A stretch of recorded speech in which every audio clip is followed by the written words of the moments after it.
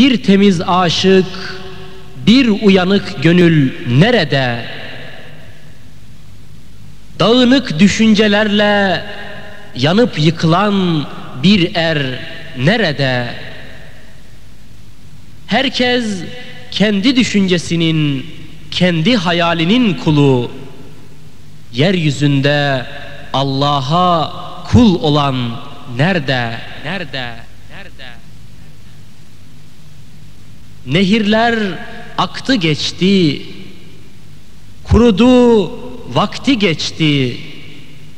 Nice han, nice sultan tahtı bıraktı geçti. Şu dünya penceredir. Her gelen baktı geçti. Yarın bambaşka insan olacağım diyorsun. Niye bugünden başlamıyorsun?